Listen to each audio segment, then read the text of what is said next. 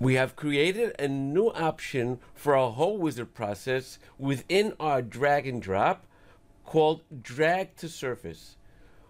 What drag to surface does is that when I drag it, as I am doing now, to the part itself, it'll recognize every single hole that was created on the entire part.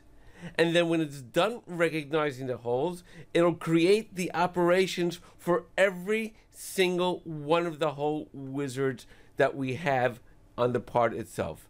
As you can see now in our operation tree, you can see all of the operations being created, whether it be our counterbore holes, our tapped holes of different sizes.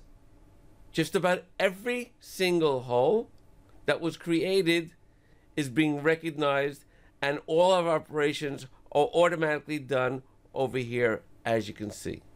If we were to run a simulation on the entire part, you can see that every single hole has been chosen and has been done with the proper tool that was needed for the part itself.